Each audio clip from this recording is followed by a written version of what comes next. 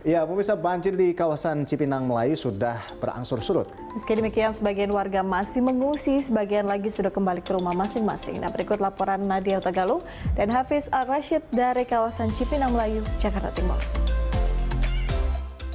pagi ini banjir yang menggenang di kawasan Cipinang Melayu, Jakarta Timur memang sudah surut.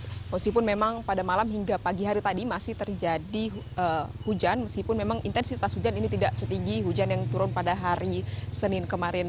Dan saat ini tersisa sedikit genangan seperti becek, namun memang tidak sampai menyentuh ke rumah warga. Namun begitu untuk kondisi pada hari ini memang dapat dikatakan jauh lebih baik dibandingkan kondisi pada dua hari yang lalu, di mana untuk banjir di kawasan Cipinang Melayu ini mencapai ketinggian 50 cm dan bahkan untuk di kawasan tepat di kami berdiri saat ini yaitu tepat di sebelah Kali Sunter ini mencapai ketinggian 2 sampai dengan 3 meter. Dan berdasarkan keterangan warga, memang banjir di kawasan ini sudah mulai surut sejak pagi hari kemarin.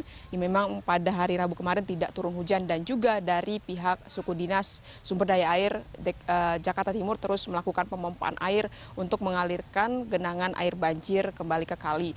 Kemudian terkait dengan evakuasi sendiri ini memang sudah selesai dilakukan di mana uh, sejumlah warga yaitu sebanyak 1080 warga uh, dengan atau sekitar 296 KK ini sudah diungsikan yaitu tepat di Universitas Borobudur Kalimalang Jakarta Timur dan sebagian warga ada yang juga sudah kembali ke rumahnya untuk melakukan pembersihan uh, rumahnya dari sisa banjir. Terkait dengan pengungsian sendiri ini sebanyak uh, 1080 warga saat ini sudah diamankan dan juga sudah dipenuhi kebutuhannya oleh pihak BNPB kemudian juga pihak PN, PMI dan juga bantuan-bantuan sosial yang lainnya yang terus datang.